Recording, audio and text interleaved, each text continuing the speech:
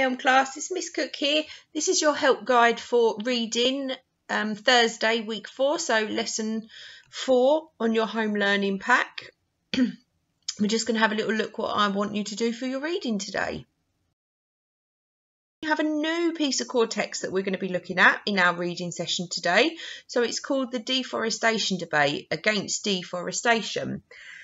So I know that some of you that were in Oak class last year did a lot of work around deforestation. So you need to be using your understanding and your knowledge from there to help support you with the questions that you've got today. But again, like it is with reading, all of the answers are inside this piece of text. We just need to make sure that we're reading it properly and we're looking for clues in there um, around other words that it could be trying to tell us and what information it is giving us. We're not going to guess the answers because they are all inside the text.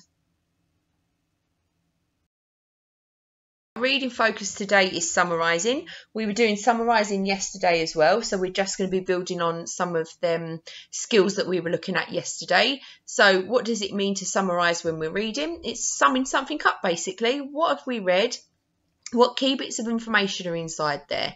Okay, so we might have a long piece of text, but it's about um, condensing that and saying what the main key points are. So that's what summarising is.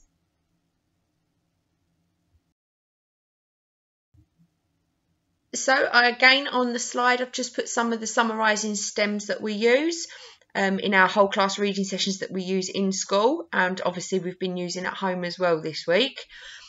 So help use these to help structure some of the answers to the questions that you are going to need to be answering today.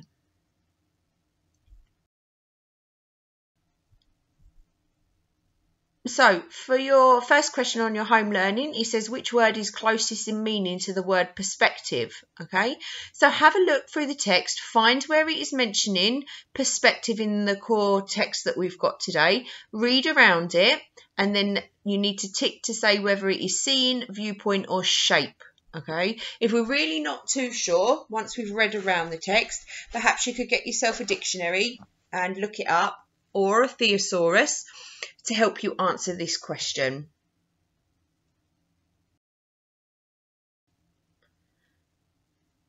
So another question in your home learning for today is in your own words, summarise what deforestation is. So we're using the information from the text that I've given you and you're just going to summarise what deforestation is.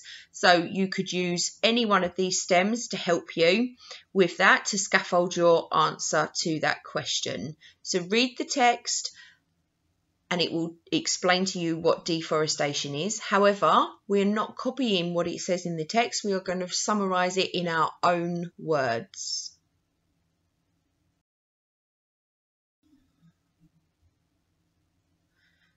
The next question that you have for your home learning is why is deforestation bad for the environment?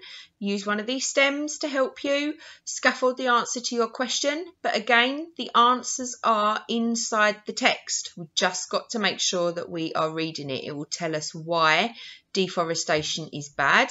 But you can also build upon your existing knowledge from your learning last year if you were in Oak class when you completed this piece of learning.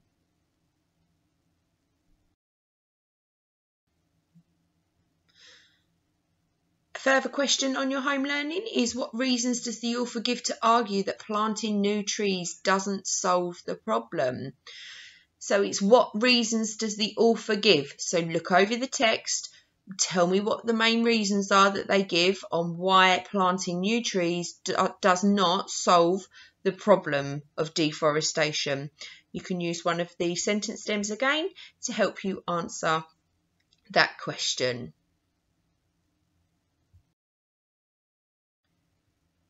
And again, if you have any questions about the home learning, whether it be for reading, the English or the maths, join us on the Zooms that are available for you at 11.30 or at 2.45 and we'll be there to answer any of the questions that you have. I hope you have a lovely day. Make sure that you're listening and doing as you've been asked and try it really hard with your home learning.